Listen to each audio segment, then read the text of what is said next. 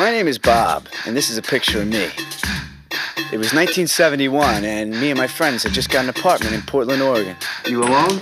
What'd you think? I brought my rat-faced granny along to hold my hand? That's Rick, my old partner. Every once in a while, we get restless. Hey!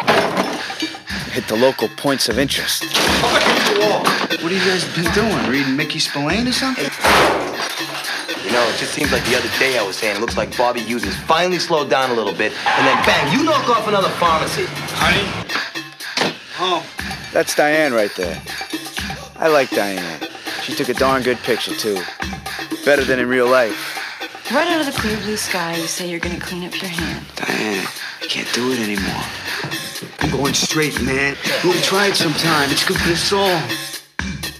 Thing is, no matter how good a rip-off artist you are, sooner or later, you pay the price.